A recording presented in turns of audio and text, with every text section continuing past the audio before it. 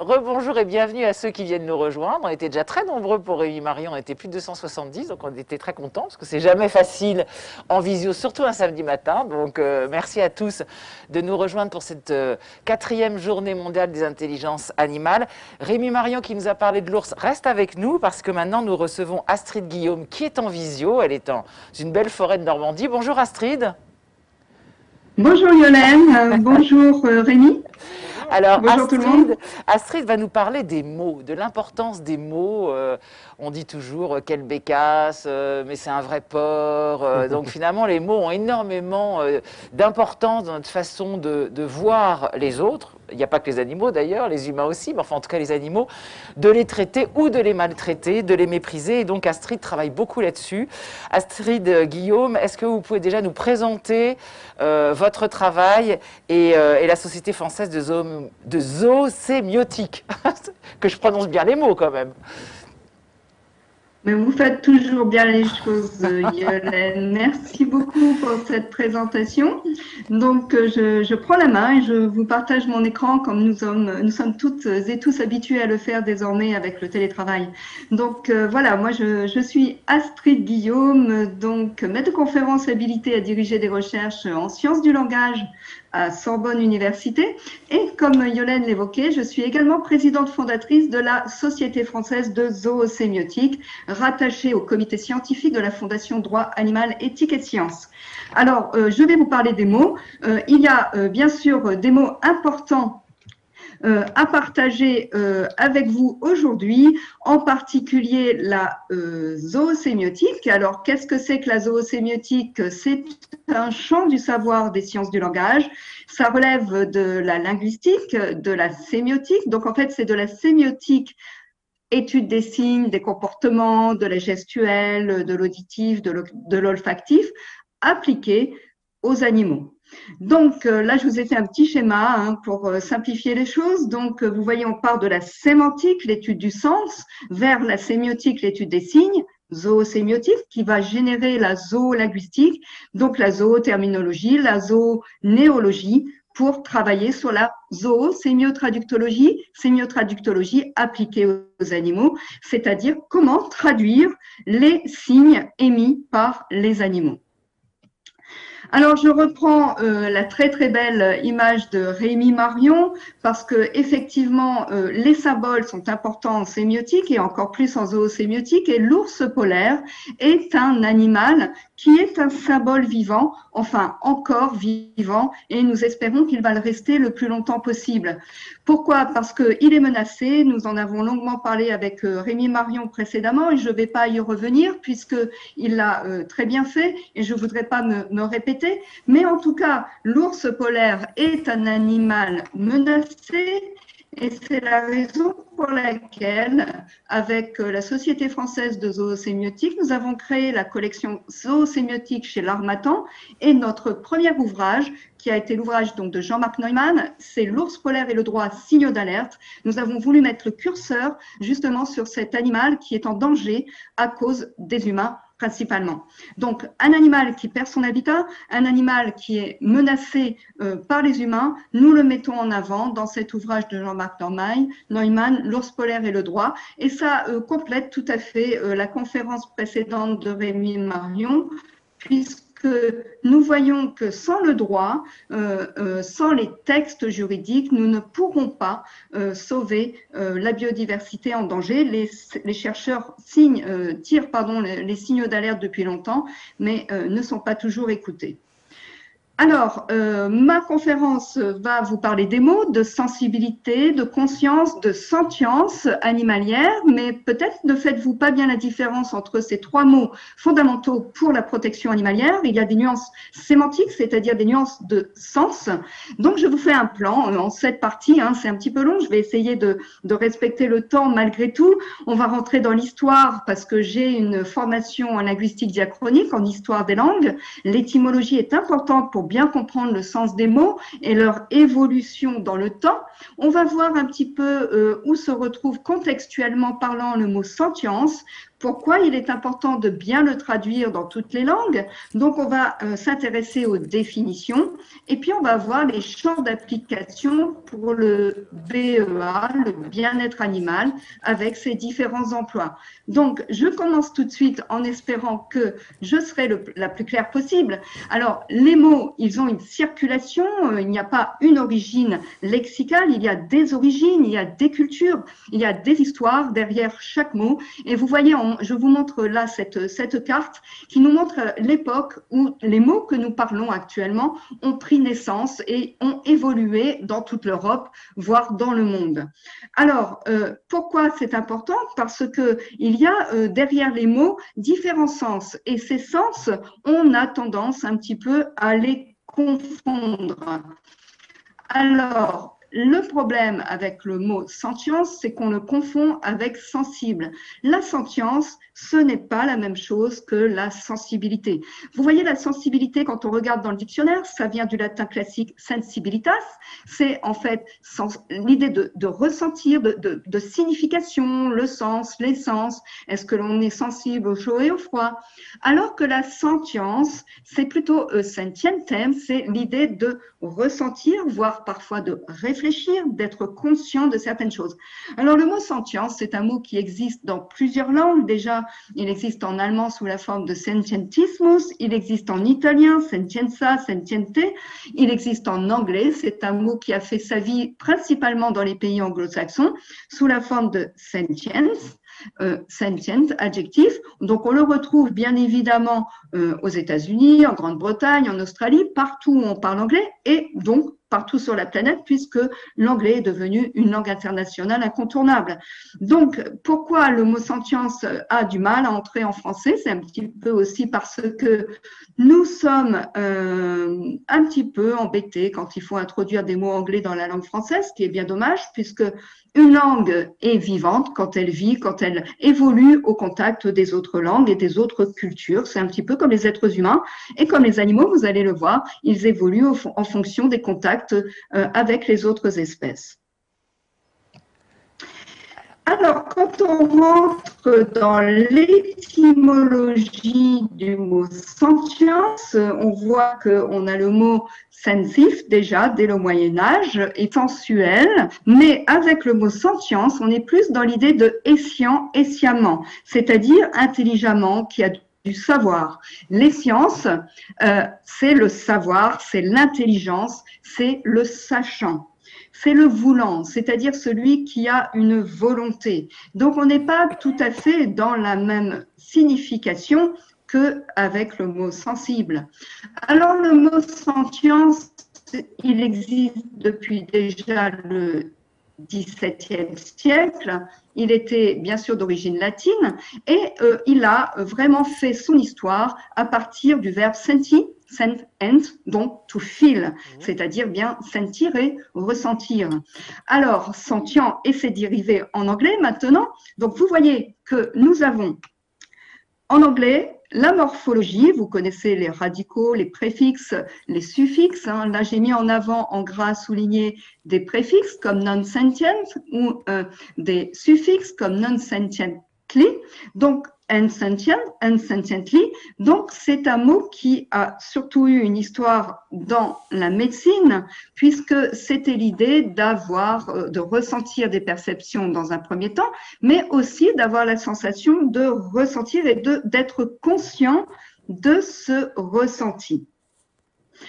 Donc, l'idée de conscious est très proche aussi du mot sentient, et ça va générer en quelque sorte un glissement sémantique vers quelque chose de beaucoup plus précis que je vais vous préciser. Alors, qu'est-ce que consciousness ou conscience en anglais? Ça vient également du latin classique conscienta, avec con qui signifie avec scienta qui va donner connaissance, donc avec la connaissance. Donc on est vraiment loin de la sensibilité là avec conscience. Hein. Euh, le médiolatin conscienza traduit en moyen-allemand Vernunft. Alors Vernunft en allemand médiéval, c'est euh, plus dans l'idée de avec le savoir, une fois encore, mit wissen. Donc on est dans l'idée de connaissance. Alors, regardons un petit peu où nous trouvons euh, sentience, en France. Si on, on, vérifie un petit peu dans quels univers on trouve le mot sentience en France, parce qu'on le trouve déjà, on le trouve dans différentes sphères, euh, principalement euh, des sphères qui sont sensibles à la cause animale. Pourquoi? Parce que effectivement, le mot sentience, c'est euh, l'idée de, dans les domaines euh, religieux, d'avoir une conscience, voire une, expérience phénoménologique. Les bouddhistes, les jainistes, les hindous parlent déjà de sentience. On retrouve le mot sentience en France également dans les associations de protection animale, par exemple pour mettre en avant la valorisation du bien-être animal, de la protection, de la sauvegarde des animaux, on va parler de sentience. Et puis, on le trouve également dans les cercles véganes, végétaliens, antispécistes en général, où on met en avant euh, l'aspect raison, raisonnement, cognition, conscience. Donc, c'est en fait dans ces cercles-là le moyen d'interdire l'utilisation de l'animal comme produit de consommation. Alors, euh, on peut bien sûr utiliser le mot sentience dans le domaine scientifique, plus particulièrement en zoobiologie, en éthologie et en médecine vétérinaire. Mais j'ai envie de dire également en médecine humaine, puisque l'humain est également un être sentient. Nous sommes tous et toutes des êtres sentients. Alors, pourquoi est-ce euh, aussi important euh, d'utiliser le mot sentient? C'est surtout sur le plan traductologique. Donc, lorsque l'on utilise le mot sentient euh, en anglais, on dit souvent sentient beings. Alors vous voyez là, c'est écrit trop petit pour que vous puissiez lire, mais mon objectif n'est pas que vous le lisiez, vous pourrez agrandir l'écran a posteriori, c'est de voir surtout les, les, définitions, la manière dont est traduit sentient beings vers le français quand il est utilisé en anglais. Donc vous voyez qu'il n'y a pas une traduction stable de ce mot. Soit on traduit par être sensible et être sensible est une perdition sémantique par rapport à sentient, puisque sensible ne veut pas dire sentient. On traduit également par être vivant, être doué de raison, être doué de sensation, être conscient, animaux sensibles, être quelqu'un, être vivant sensible. Donc vous voyez, on est un petit peu dans ce que l'on appelle un flou artistique traductologique, ce qui pose problème bien évidemment parce que on utilise ces termes-là aussi dans le droit. Et le droit a des incidences sur le bien-être des animaux. Par exemple, si nous prenons le traité d'Amsterdam, donc le traité d'Amsterdam euh, qui fait évidemment, puisqu'il est aussi écrit en anglais, allusion à sentient being, vous voyez que ce petit passage important pour euh, le bien-être des animaux a été, a été traduit ici par en tant qu'être sensible. Donc, les hautes parties contractantes, désireuses d'assurer une plus grande protection et un meilleur respect du bien-être des animaux en tant qu'être sensible, sont convenues des dispositions ci-après que je n'ai pas reprises ici, mais qui sont très importantes pour le bien-être animal. Donc, ici, nous parlons d'être sensible, alors qu'en anglais, nous avions sentient. Alors, si l'on inverse l'aspect traductologique et qu'on part dans l'autre sens, voyons comment on traduit être sensible depuis le français vers l'anglais. Alors, on a soit sensitive soul, sensitive person, sensitive being, sensitive, sentient being. Donc, vous voyez que là encore, dans l'autre sens, nous, nous, perdons du sens, nous ne sommes pas dans une équivalence tout à fait précise et parfaite, alors qu'une bonne traduction devrait au contraire être extrêmement euh, scientifique, objective et précise. Donc, pour conclure sur cet aspect traductologique, vous voyez que en traduction, soit on ne traduit pas du tout le mot sentience parce que apparemment on ne sait pas le traduire, soit on le traduit par sensibilité ou sensible, qui n'est pas du tout la même chose que le mot sentience, soit on le traduit par un être ressentant. Alors effectivement, c'est un petit peu plus précis, mais euh, ça n'est pas suffisamment précis. Alors, sentience, si on veut bien l'utiliser, il faut non seulement le redéfinir et j'ai envie de dire le définir précisément pour les sphères animalières en tout cas.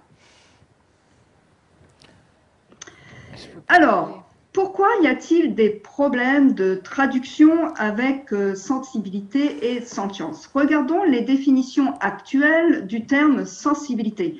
Vous voyez que le terme sensibilité est extrêmement polysémique. Polysémique, ça veut dire qu'il a beaucoup, beaucoup de sens. On peut euh, utiliser le terme sensibilité aussi bien pour un organisme qui réagit à des excitations externes ou internes, pardon. Et là, c'est effectivement dans ce contexte qu'on utilise le mot sensibilité quand on parle soit des animaux, soit des humains. Mais les humains, je vous le rappelle, sont aussi des animaux.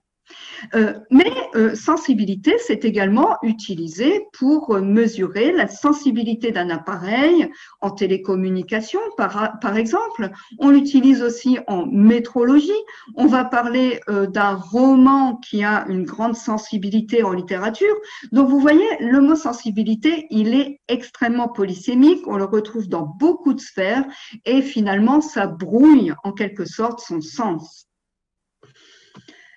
La sentience, en revanche, euh, est bien sûr utilisée dans différents champs académiques, mais toujours avec le même sens. Et c'est là que le mot devient intéressant, parce que tout le monde peut l'utiliser, aussi bien dans le domaine religieux, dans le domaine éthique, dans le domaine philosophique, dans le domaine scientifique, mais on est toutes et tous d'accord sur son sens. Le sens d'un être sentient, c'est la capacité à éprouver des choses subjectivement et avoir des expériences vécues. Un être sentient est un être conscient, il est capable d'éprouver des émotions, d'éprouver la douleur, le plaisir, il est capable d'être dans une situation d'épanouissement. La sentience fait que ce qui arrive à un être sentient lui importe personnellement, c'est-à-dire en tant qu'individu. Alors, euh, j'avais repéré, ce, rapport de synthèse de CIWF qui disait justement reconnaître la sentience des animaux d'élevage. Euh, c'était déjà euh, un rapport qui date de quelques années. Et vous voyez que dans ce rapport, j'ai tiré quelques extraits. on voyait que l'être sentient était important parce que un être sentient raisonne, parce qu'il tire des leçons efficaces de l'expérience. Il sait s'adapter, il distingue, il choisit, il comprend les relations sociales. Un être sentient, c'est très important pour euh, le bien-être animal, bien évidemment.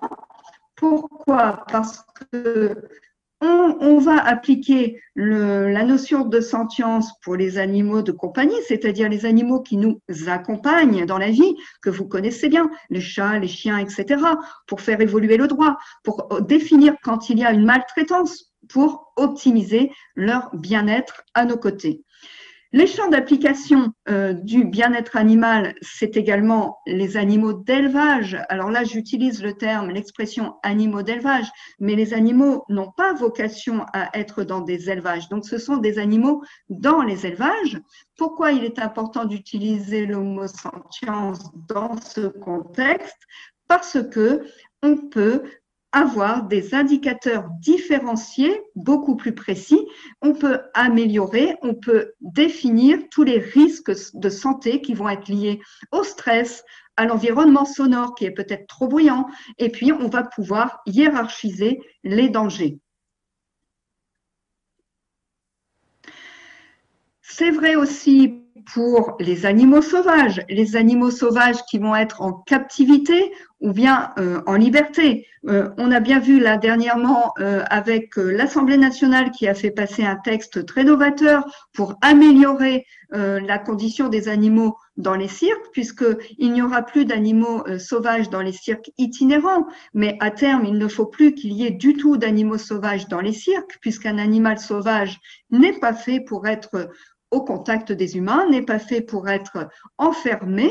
Donc, pour bien développer le droit, pour bien développer de nouvelles lois sur la captivité, sur les maltraitances dans les delphinariums, dans les cirques par exemple, pour mieux protéger les habitats des animaux sauvages, pour interdire les trafics et la chasse à court, voire certaines formes de chasse, voire la chasse, il faudra bien définir euh, les conditions des animaux dans leur habitat, mais également les mots parce que savoir parler, c'est parler justement, justement, et avoir des définitions très précises pour pouvoir justement mieux interagir avec les animaux.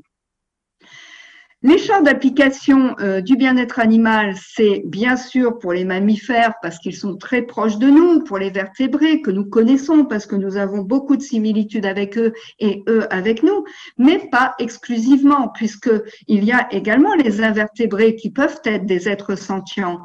La, pieuvre, par exemple, la sèche, sont des animaux très, euh, très, très prolixes pour exprimer leurs émotions.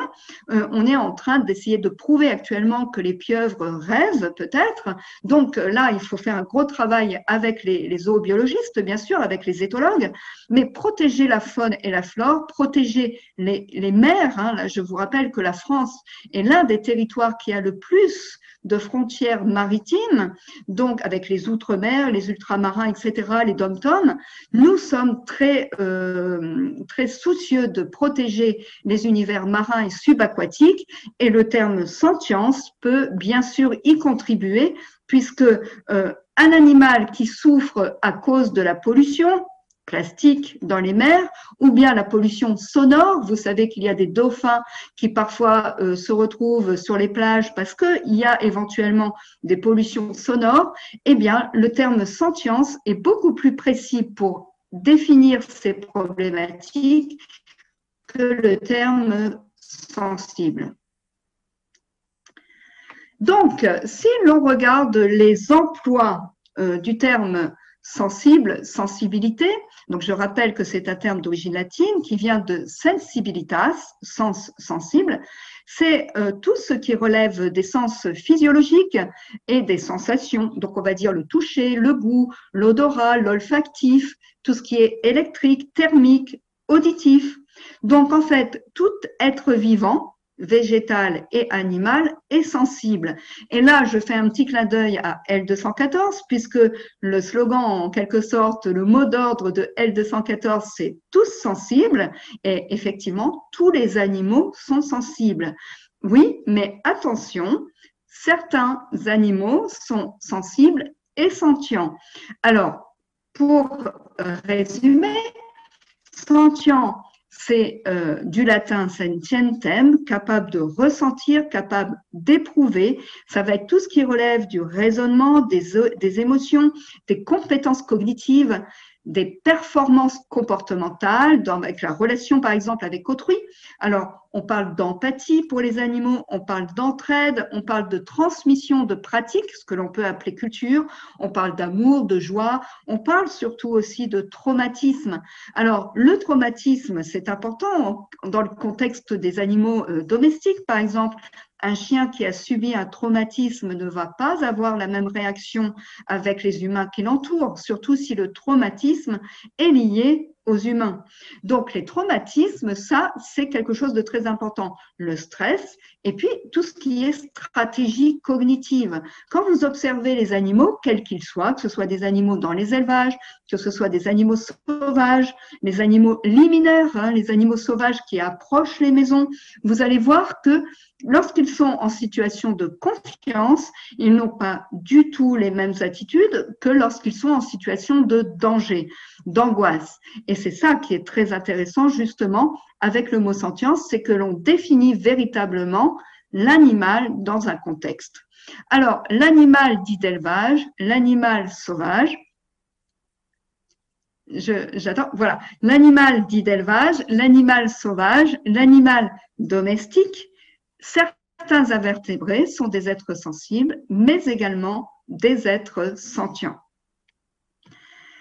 Alors, quand on regarde finalement euh, ces animaux, j'aime beaucoup euh, le photographe Tim Flahr. Vous voyez, euh, on se rend compte que, et je pense que c'est ce que Rémi Marion a également dit à propos des ours, que ben, les animaux, ce sont des individus, ce sont des caractères et ce sont des personnalités sentientes. Alors, plus nous allons développer des relations harmonieuses avec eux, plus nous allons découvrir ces caractères, ces individus, ces personnalités. Et lorsque l'on veut généraliser d'un point de vue scientifique, on se rend compte qu'on n'y arrive pas. Pourquoi? Parce que chaque individu a son caractère. Et c'est un petit peu comme les humains. Euh, les humains euh, sont différents, euh, même d'une culture à l'autre, hein, euh, sur le plan de l'expression euh, des émotions, par exemple, eh bien, c'est exactement la même chose avec les animaux. Alors là, vous allez me dire, oui, mais là, ce sont des primates que vous montrez, les primates, ils sont très, très proches des humains, donc c'est peut-être pas tout à fait parlant comme démonstration. Mais c'est également le cas chez les chats. Hein. Les chats sont un petit peu loin de nous. Je vais ralentir un petit peu mon débit pour qu'on puisse bien traduire au niveau des signes. Voilà, donc euh, les, chats, les chiens en fonction des espèces, mais également au sein d'une même race, vous allez voir une multitude de caractères, une multitude d'attitudes et une multitude de façons de s'exprimer. Alors, c'est pour ça que la zoosémiotique très importante parce que nous étudions la manière dont les animaux nous parlent et se parlent. Alors, j'utilise volontairement le mot parler parce que en sémiotique, euh, communiquer, parler, c'est faire passer du sens. Faire passer du sens, c'est avoir un langage. Un langage qui peut devenir un zoolangage. Alors, la particularité des animaux, c'est qu'ils ont non seulement une manière de s'exprimer entre eux, ils ont une manière de s'exprimer avec nous et en fonction de l'éducation que nous leur apportons, ils vont avoir différentes façons de vocaliser ou bien de se comporter. Donc la zoosémiotique étudie l'ensemble de ces comportements, mais également la manière de les nommer parce que vous aurez remarqué qu'on utilise toujours les mêmes mots pour parler euh, des euh, comportements animaliers. Alors, au niveau du vocabulaire, nous avons beaucoup, beaucoup de mots pour qualifier les vocalises, les vocalisations des oiseaux. Il y a énormément de vocables.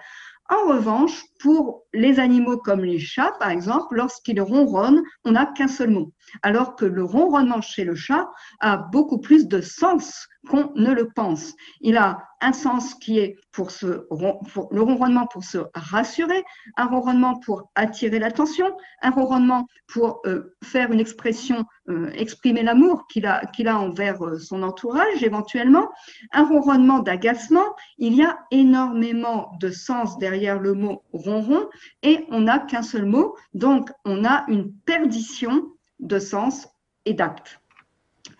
Alors, euh, puisque euh, Rémi Marion est spécialiste des ours, il a fait de très belles photos. Moi, je mets en avant également les photos ici de Laurent Baheux, qui est photographe animalier, qui est membre du comité euh, d'honneur de la Société française de zoosémiotique et qui montre à quel point les ours, ici polaires, sont également des êtres sentients des personnalités sentientes, des caractères qui ont euh, vraiment euh, un caractère et qui sont des individus. Alors, ce qui est très intéressant à propos des notions de de caractère, de personnalité, c'est que de plus en plus, les animaux sont considérés comme des personnalités non humaines. Par exemple, le dauphin a été reconnu personnalité non humaine. Le euh, l'orang-outan euh, a été considéré comme une personnalité non humaine. Donc vous voyez que la notion de personnalité qui implique le mot ben personne peut tout à fait s'appliquer peut tout à fait s'appliquer aux animaux. C'est-à-dire qu'il suffit, lorsque l'on nomme les choses, de euh, donner un sens qui sera exclusivement rattaché aux animaux pour des comportements particuliers. Lorsque vous regardez dans le dictionnaire, vous voyez qu'il y a plusieurs sens à chaque mot avec plusieurs champs d'application et de domaines éventuellement scientifiques. Merci Astrid. Euh, Astrid, je suis là. J'ai pas pu euh, discuter trop avec vous parce que c'était compliqué là au niveau technique. Ça, c'est un peu le problème de, la visio.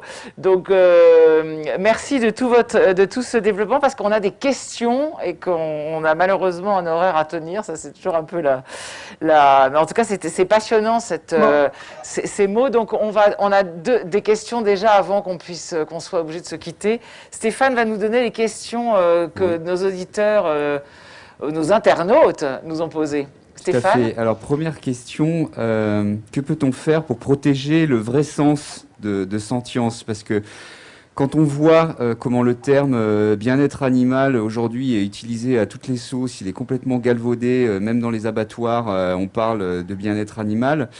Voilà, qu'est-ce qu'on peut faire pour protéger ce vrai sens de sentience et les conséquences nécessaires de ce fait?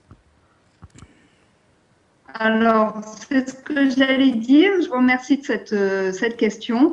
Le, mot sentience est rentré dans le Larousse 2020 avec une définition. Et euh, cette définition euh, permet quand même de protéger le mot. D'ailleurs, je suis très contente que Larousse ait introduit le mot sentience dans le dictionnaire Larousse en 2020. Il l'a même mis sur sa couverture, euh, ce qui m'a fait vraiment grand plaisir et je les en remercie.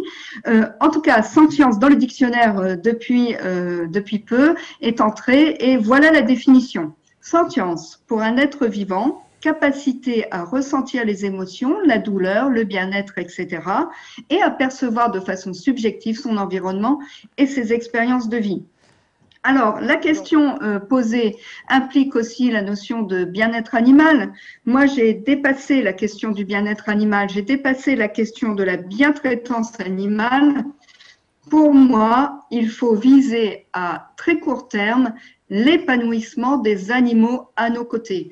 Et l'épanouissement des animaux à nos côtés, c'est ce que j'appelle justement l'humanimalisme. C'est un humanisme respectueux des animaux parce que, à mon sens, euh, un animal ne peut absolument pas être ni heureux ni épanoui dans un abattoir ou dans un élevage euh, industriel tel que nous les connaissons euh, aujourd'hui. Donc la question de, de, la protection du mot sentience Bon, bah, ça y est, elle est dans le dictionnaire, c'est très bien, j'en suis très contente. Maintenant, il faut l'appliquer sur le terrain, il faut que les vétérinaires comprennent le sens, il faut que les juristes comprennent le sens, que les politiques comprennent le sens et que les politiciens aussi écoutent les scientifiques mais également en sciences du langage, parce que le langage, c'est quand même le point de départ. Oui, mais c'est là où c'est difficile, Astrid, parce qu'on voit que le mot sentience, euh, même euh, l'Académie des vétérinaires ne, a eu très peur de ce mot. Enfin, et quand on, parle des élevages, c'est quand même pas euh, évident pour les, les éleveurs d'accepter ce mot-là. Alors, bah, c'est un petit peu dommage que ce mot-là pose problème qu'en France parce qu'il existe dans le monde entier déjà. Hein. Euh, et c'est pas parce qu'il existe euh, dans le monde anglo-saxon que la, la, condition des animaux dans les élevages s'est améliorée. Donc il faut juste que nous parlions le plus précisément possible tout en sachant qu'il euh, n'y a pas de danger derrière un mot. Euh, il faut tout simplement reconnaître que les animaux ont différents types d'intelligence. Vous le savez bien, Yolène, puisque vous avez créé cette journée mondiale des intelligences animales, il n'y a pas une forme d'intelligence, il y a des intelligences, il y a des sentiences et il y a euh, des sensibilités. Et c'est vrai aussi pour les humains. D'ailleurs, c'était intéressant parce que tout à l'heure, vous avez dit que tous les animaux étaient sensibles et que certains animaux étaient sentients peut-être qu'on va se dire quand même que tous les animaux sont sentients. On n'en est pas encore là au niveau euh, biologique et au niveau scientifique, bien sûr, mais on découvre quand même, on en parlera cet après-midi sur les insectes, sur des animaux a priori extrêmement méprisés, et on se rend compte qu'en fait, euh, eux aussi ont une forme de sentience. Mais bon, je ne coupe pas la parole parce que Stéphane a une autre question. On a beaucoup de questions et beaucoup d'internautes très intéressés par, euh, par, toute cette, par ce que vous venez de nous dire et par toute ce, ces, nuances euh, euh, de, mots. Stéphane Oui, alors justement, c'est un lien ce que tu viens de dire, Yolène. C'est que euh, vous, nous avez parlé, Astrid, donc d'animaux sensibles et, parfois sentients. Et donc, est-ce que ça veut dire que des animaux, certains animaux ne sont pas sentients? Et si oui, lesquels, concrètement? Donc on voit que le sujet... vous répondra que c'est Georges Chapoutier, euh, qui est membre de la, de la Société française de zoosémiotique, qui est vice-président même, euh, est, est, plus euh, apte à répondre à cette question que moi, mais je vais reprendre un petit peu euh, ce qu'il ce qu'il dit généralement. Il, il, dit que, bon, par exemple, une éponge on, va dire qu'elle n'est pas sentiente parce que son système nerveux n'est pas suffisamment développé. Euh, on n'oublie pas qu'une éponge, c'est un animal, hein, mais c'est un animal qui est plutôt sensible. Alors peut-être que dans un siècle ou deux, on découvrira que la, la vie intérieure et intellectuelle de l'éponge est formidable. Pour l'instant, on en est pas encore à ce stade. Donc, à ce stade de l'évolution scientifique, on va dire qu'il euh, y a effectivement des animaux qui sont plus sensibles. Hein. L'éponge, par exemple, si elle est dans un milieu marin qui est euh, trop acide, elle va mourir. Euh, maintenant, est-ce qu'elle se souvient euh, de, de ses émotions À ce stade, on ne peut pas le dire. Moi, je suis prudente. en revanche, c'est une question de nociception. Hein, les, les, neurobiologistes, les gens qui travaillent en cognition le savent bien. on n'a pas toutes et tous, euh, animaux et humains, le même système nerveux par rapport à la sphère, euh, donc à la sphère animalière. Et euh, c'est le système nerveux qui est très important et le système cérébral, hein, le, cerveau, les différentes formes de cerveau qui sont très importantes pour la notion de sentience. Oui, je crois qu'en effet. La notion de sentience implique la notion de mémoire des traumatismes on, verra, à mon avis, en effet, dans les années à venir, parce que c'est vrai que c'est un raisonnement qu'on avait il y a encore dix ans avec euh, les pieuvres euh, ou, d'autres animaux comme ça, et on se rend compte qu'on découvre des choses absolument extraordinaires. Vous avez raison, il faut laisser un petit peu de temps à la science pour euh, avancer là-dessus. Stéphane, il y a une autre question? Oui, alors, si, si, un animal est sentient, pourquoi est-ce que la loi considère nos animaux de compagnie comme un mobilier doué de sensibilité? Et je crois que ça a évolué la loi à ce niveau-là. Alors ça a évolué, c'est intéressant parce que c'est plus considéré comme un meuble, mais enfin, euh, ça n'a pas changé grand-chose dans le traitement des animaux finalement. Non, non, non, non. Là, il ne faut pas confondre le mot meuble en tant que substantif et le mot meuble en tant qu'adjectif. D'accord. Euh, la loi considérait les animaux comme des biens meubles, c'est-à-dire que l'on peut euh, bouger et pas comme des objets meubles. Donc ne confondez pas euh, le substantif et l'adjectif. Ah l'adjectif, ça veut dire qu'on peut les déplacer. Donc euh, là, il y a eu des grosses confusions euh, à cause, vous voyez, d'un mot qui apporte des associations d'idées. L'adjectif meuble évoque dans les esprits l'objet meuble. Ah Donc euh, non, super intéressant ça, parce que nous on était tous persuadés que c'était considéré comme une table et, qu'à partir du moment où c'était plus le cas, c'était merveilleux, on allait sauver les animaux. En fait, vous nous, vous nous expliquez que pas du tout. D'accord, très très intéressant. Bah J'avoue que. Il faut toujours avoir ah. euh, un, petit euh, un petit Larousse sous le coude pour, pour bien comprendre les mots. Hein. Stéphane, est-ce que vous avez d'autres questions? Oui, alors très très vaste. Euh, est-ce que les animaux ont une âme? Oh Alors là, donc, alors, Rémi, me fait signe que nous avons que 5 minutes. alors, sur, question. sur le plan euh, lexical, anima signifie âme. Alors, l'âme, ça veut dire ce qui est vivant, en fait, ce qui est, ce qui est en vie, ce qui, se, ce qui bouge. Donc, euh, tout ce qui bouge a, a, potentiellement une âme, puisque une possibilité d'évoluer, d'avancer. Alors maintenant, est-ce que les humains ont une âme? Oui, bien sûr. Hein. Nous sommes tous des âmes sensibles et sentientes.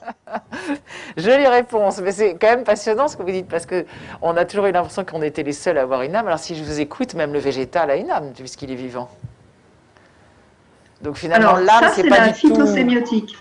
C'est pas du tout la, la Ça, c'est la phytosémiotique. Hein. Euh, je ne sais pas, l'âme, ça a été aussi un mot qui est récupéré par les religions, par tout ce qui est mystique. Je ne veux pas, moi je suis une scientifique, hein. je suis encore euh, à l'époque médiévale, foi et raison, euh, science et religion, je ne sais pas. Je suis une scientifique, je reste dans, le, dans, le, dans le, la science. Euh, bon, bah, effectivement, on parle de, de, de phytosémiotique quand on étudie les, les signes émis par les végétaux. Euh, on parle de euh, biosémiotique quand on étudie tous les signes du vivant. Donc nous, on se concentre sur le, zoosémiotique. Sur la zoosémiotique, c'est déjà énorme, mais il y a d'autres avancées à faire en biosémiotique et en phytosémiotique, bien sûr. Alors Rémi Marion voudrait bien vous poser une question, Astrid.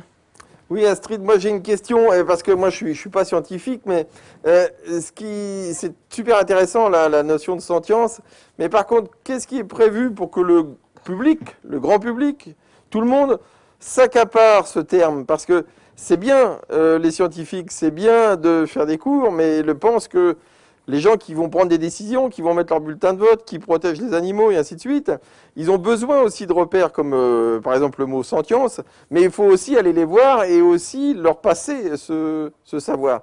Donc est-ce qu'il y, a des programmes, je dirais un petit peu de vulgarisation, de, de, pour mettre à la portée de tout le monde ce genre de, je dirais, de changement aussi d'appréciation? Bien sûr, Rémi, euh, merci de cette question qui n'était pas planifiée entre nous, mais qui m'arrange, euh, puisque effectivement, euh, la Société française de zoosémiotique, dont je vous mets les coordonnées du site là, dans ma diapo finale que j'ai pas eu le temps de, oui, de vous travail. montrer. Donc, Société française de zoosémiotique, c'est l'une c'est la, la, seule, je dirais, société savante qui ouvre ses séminaires au grand public.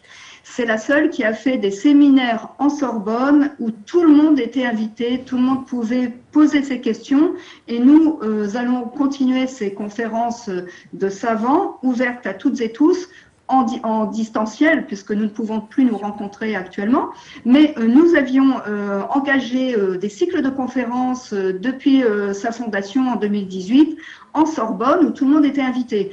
Et nous avons un compte Facebook et un compte Twitter mmh. que nous animons avec euh, une, un membre de, la Société française de, de zoosémiotique, Pauline de Pierre-Fix, et, euh, qui euh, permet d'avoir des interactions avec le grand public. D'ailleurs, vous pouvez voir déjà actuellement là sur la page Facebook, on parle de la journée mondiale des intelligences animales et tout le monde est en interaction. On modère, on explique et notre notre projet, notre, objectif, c'est, euh, en tant que représentant d'une université publique, c'est de diffuser le savoir et de partager avec le grand public toutes les nouvelles connaissances toutes les nouvelles inventions, innovations, connaissances que nous faisons euh, actuellement avec toute l'équipe de la Société française de sémiotique, qui est quand même une, une, équipe très pluridisciplinaire. Nous avons des éthologues de Paris-Nanterre, nous avons euh, Éric Baraté qui est dans le comité d'honneur, des historiens donc, on a euh, des juristes, on a des philosophes, on a euh, beaucoup de monde, des photographes, hein, je parlais de Laurent Baheux, on a euh, André-Joseph Bouglione qui est un, un, un représentant de, du cirque. Donc vous voyez, dans le comité d'honneur, j'ai mis un point d'orgueil à ne pas intégrer que des grands chercheurs, mais également des gens qui ont fait des choses pour les animaux. Bon, merci beaucoup Astrid, en tout cas pour tout ce travail. Parce vous êtes le bienvenu parmi nous, Rémi. Hein. Ah bah voilà, vous aurez peut-être quelqu'un de nouveau. Euh. On a une dernière petite question rapidement parce qu'il faut quand même qu'on maintienne un petit peu le temps. Euh, euh Stéphane? Oui, c'est pas vraiment une question, c'est les, les, personnes qui nous suivent veulent juste avoir un mot de conclusion de votre part, Astrid. C'est quoi la conclusion de tout ça? Alors, la conclusion, eh bien, elle était là. Je la voilà. La conclusion, c'est que lorsqu'on a un mot sentience, euh, par exemple, c'est très important d'introduire les nouveaux mots dans la langue française. Pourquoi? Parce qu'ils vont pénétrer différentes sphères, par exemple la sphère du politique, de l'économique, de la culture, de l'environnement, de l'informatique. Sentience va entrer dans toutes les sphères académiques et scientifiques et ça va non seulement enrichir la langue française, ça va apporter des précisions supplémentaires, moins d'imprécisions traductologiques et juridiques. Et puis, je voudrais évoquer là, euh, en fait, Donald Brown qui était intervenu à un colloque de la Fondation Droit Animal, Éthique et Sciences en 2015 auquel je participais et qui est lui un grand chercheur euh, euh, à Cambridge. Il disait, je crois que c'est très important que Sentience ne soit pas traduit par sensible. J'espère qu'il y a beaucoup de Français qui comprennent ceci. Donc, en fait, lorsqu'on introduit un mot, il faut tout simplement apprendre à l'utiliser, d'abord connaître bien cette définition et l'appliquer dans de bons contextes. Alors, avec la, définition, évidemment, que je vous redonne, mais que vous pourrez trouver en ligne, et puis euh, voir comment, justement, là, je l'ai évoqué dans L'ours polaire et le droit, puisque c'est le livre de Jean-Marc Neumann, j'en ai fait la préface, et là, j'explique qu'il faut partir non plus de bien-être, de bien-traitance, mais viser l'épanouissement des animaux à nos côtés. Et puis, bien sûr, sur le plan plus scientifique, et là, c'est un livre un petit peu plus ardu, mais j'ai développé ces questions dans Faire sens, faire science, que j'ai coécrit avec il y a Kurzweste.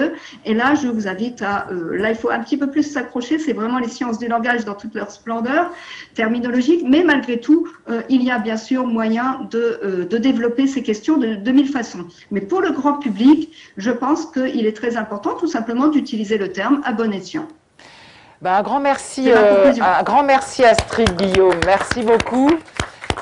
Et, justement, euh, tout à l'heure, on va s'adresser, on va s'adresser aux enfants parce que c'est bien aussi de parler aux adultes, mais aussi aux enfants. Alors, il n'y aura pas que les enfants, les adultes aussi, mais on aura euh, deux, scientifiques qui ont travaillé pour les petits avec des livres passionnants pour les petits et les grands. Farah Kessri, vétérinaire, avec un livre avec des dessins très rigolos, vous allez voir, sur les cinq sens des animaux et qui ont des sens incroyables.